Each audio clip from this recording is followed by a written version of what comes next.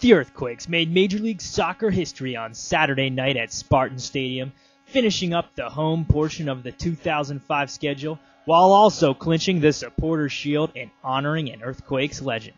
Get all the interviews, highlights, and action right here. This is Quakes Insider.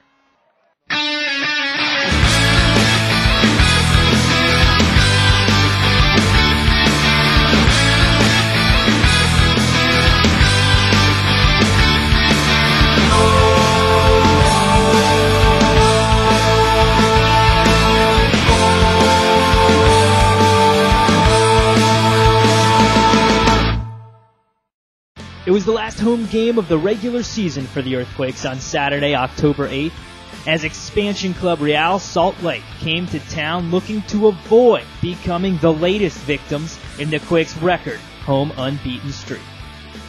Moments before the game started, the Quakes learned that the New England Revolution had tied, ensuring that for the first time ever, San Jose would be the home of the Supporters Shield given to the team that finishes the regular season with the best record in MLS. A win or tie would complete the Quakes' unbeaten season at home, something that no team in MLS history had ever accomplished. And despite missing U.S. national team players Wade Barrett, Brian Ching, Danny Califf, and Ricardo Clark, Venezuelan national team forward Alejandro Moreno, and the suspended Eddie Robinson, the Quakes' reconfigured lineup came out strong in the first half. And in the 38th minute, Dwayne De Rosario showed once again why he is the leading candidate for MLS MVP. Here's De Rosario using his speed, trying to lay it off. Ball is loose, shot is in! From his backside for the eighth time this year, De Rosario puts San Jose up 1 0. Well, you got it. Well, um, I actually tried to pass it to Mullan, and uh, I think it was Dunseth hit it with his left knee, and um, scrambled it with the defender, and I, I, saw the ball just sitting there, and you know, I, you know, it was there, it's just sitting for me, and um, you know, I kind of just swung it towards the net, and, and, and luckily we went in, and um, you know, for me it was a, you know, it was, it was, a, it was a good, it was a, it was a great goal to, to, to start us off. now on the other hand, what happened? Six minutes later, a rookie made his mark for the Quakes giving San Jose a 2 0 advantage heading into halftime. Play through to Nash. Nash turning, shot is in! On a beautiful play through that time from Cerritos. Nash beat Nolly backside 2 0. Uh, I made a you know kind of diagonal run. Ronald played in my foot. You know, I took a touch to trap it, pushed it aside, and uh, hit it low and hard far post, and found the side netting. In his first MLS start, scoring a goal was just icing on the cake for Julian Nash.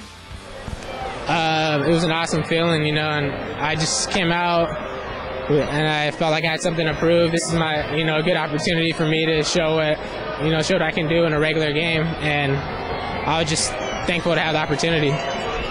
But just when it appeared the Quakes were cruising, disaster struck in the 64th minute.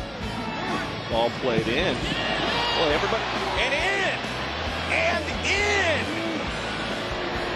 Every, got his first career goal. Onstad hates it, but everybody stopped and the ball just. Just a, a, ball. I mean, it's just how the coaches always want you to do is cross it so that if uh, no one touches it, it goes in the far corner. And um, you know, my shot was away, and unfortunately, um, you know, I, I thought uh, someone was going to be able to head it away, but didn't get to it and, and stuck in the far post. I don't know what I was thinking, man. I was, I don't know. That's, that's a good question. I'm, I'm to look at the video and try to figure out, come with come an explanation for that one. Know, and, uh, I don't know. You know, totally my fault. Um, and, uh, don't know what else to say. one game to go. With Salt Lake turning up the pressure, the expansion club got the equalizer on a volley by Andy Williams in the 73rd minute. Super sub far side making his run to the box. Crosses back. Williams shot. Goal! Andy Williams levels the match in the 73rd minute. It's two different halves. I mean, um, you know, the first half I thought we played pretty well. We got two good results. Second half I thought we could have had, you know, one or two more. They get it, you know, a, a weird goal, kind of a, off a weird play, and then, uh, you know, obviously they're looking to get some sort of result because they, they don't think they had to win it, you know, on the road all year. Um, so they're trying to get some sort of result. So unfortunately we came out with the tie, but you know, it's a point, so we'll take it.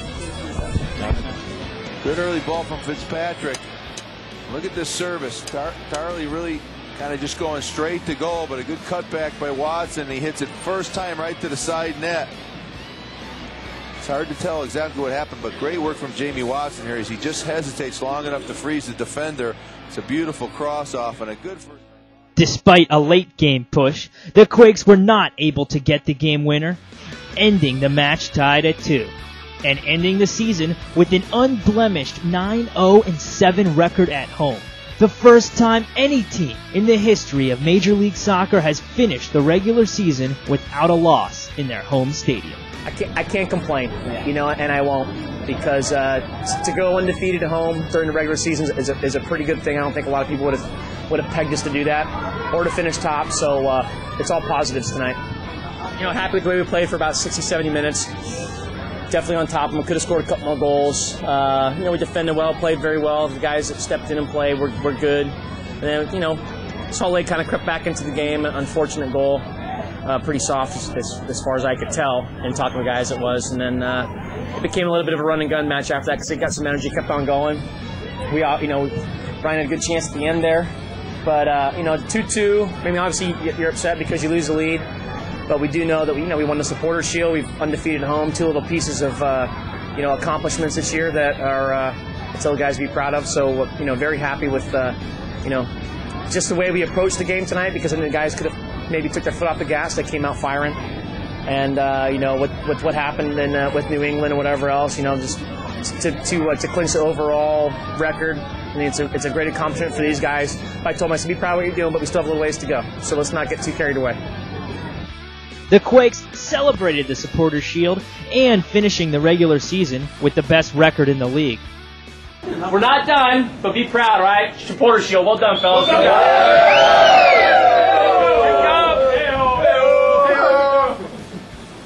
All right, that's it. Well, it means a lot to this team. You know, we've we've gone through a lot of stuff. This team, uh, no one ever thought that we'd be at this point. You know, at the beginning of the year, they thought, okay, we put some players together. It was a new team, and but uh, Dominic did well on organizing us, and uh, the players did really well. And again, you're gonna you see this team scoring from all angles and all positions. So again, it's hard to defend us. So again, that just uh, portrayed on how we uh, did for the rest of the season and how we ended up with the support shield. While it was a historic game for the Quakes, it also marked the return to the lineup of Brad Davis, out since August 20th with a left groin strain it's uh, it's tough to get back into the swing of things, you know. But uh, you know, I was thankful Dom put me in that early and let me get that many minutes in. You know, I wasn't even expecting that, but you know, to get out there and run around and you know be part of the team and to know I can go out there and kick a ball again is uh, it feels pretty good. So. Saturday was also the first MLS game in almost two years for forward Roger Levesque, who has been on loan to the USL First Division Seattle Sounders winning the title with them before returning to San Jose and entering the game in the second half. Um, it was definitely great, you know, to come on late in the game. Um, and it was a little disappointing that we gave up the two late goals to tie 2-2. Uh, but at the same time, you know, I was excited to be out there. Came close to getting that, uh, getting the goal uh, to give us a win, but uh, maybe next time. Yeah, uh, Seattle was great. Um, you know, winning a championship is always a lot of fun. Uh, and I got to play a lot, which is good. Uh, that game experience, there's um, you can't replace that uh, as far as getting better. So, you know, and it turned out great last week, and we won a championship. So that's champ- champagne twice in a week for me. With just one game remaining on October 15th in LA against the hated Galaxy before the playoffs start, the Quakes are ready and happy with their home field advantage. You know, we, we, think we're very difficult to beat here. Uh, obviously, uh, it's a tight field. It's uh, the fans are right on top of you, which makes it feel even tighter. And we're used to it. We're very comfortable here, and uh, it, it's a tough place to play. And, and, right now, the way things have worked out, uh, to get to the MLS Cup final, you've got to go through San Jose, and uh, that's what we. That's our whole goal of the 32 games, was to make sure that we had that advantage going into the playoffs. We've done that. you know, it's a, it's a game for the playoffs, and especially against LA, which is, you know, uh, uh, like a rivalry. And uh, of course, going to play in LA, we want to stamp our authority. We want to show them that, you know, we could uh, beat them in the Home Depot Center and uh, put a lot of pressure on them going into the playoffs. And I'm sure they want to do the same thing. You know, going into the playoffs, they want to come out and you know battle for for it. So it won't be an easy game, but um, we're gonna go in there and keep our game and you know play play the way we play, and um, you know hopefully hopefully things work out. After the Quakes made history on the field, the club honored retiring legendary defender Troy Dayak in a moving post-game ceremony. The Beast played eight memorable seasons for the Quakes, and the 2001 MLS All-Star and U.S. Olympian always saved his best moments for his true home field, Spartan Stadium. The Quakes honored Dayak with a framed jersey and the special commemorative Earthquakes belt buckle for the cowboy from Tracy. Dayak once again brought down the house in a fitting end to a special regular season.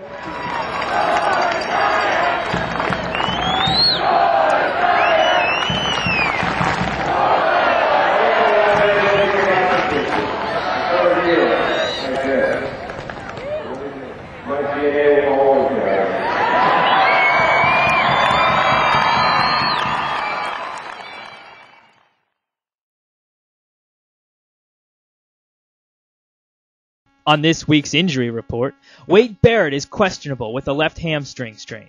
Ronald Cerritos is probable with a left ankle sprain. And Brad Davis is probable with a left groin strain. Troy Dayak and Craig Weibel remain on the season-ending injury list. Earthquakes fans, don't miss the last game of the regular season on Saturday, October 15th, when the Quakes travel to LA to face the Galaxy at 7 p.m. at the Home Depot Center. Watch the game live on Telemundo 48 or listen on 1590 AM KLIV. And Quakes fans, don't get shut out of the playoffs as the Earthquakes host Game 2 of the Western Conference semifinals on Saturday, October 29th at 7 p.m. at Spartan Stadium.